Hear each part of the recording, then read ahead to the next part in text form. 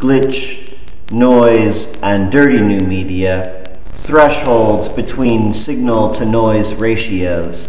Technologies are a set of socially constructed ideas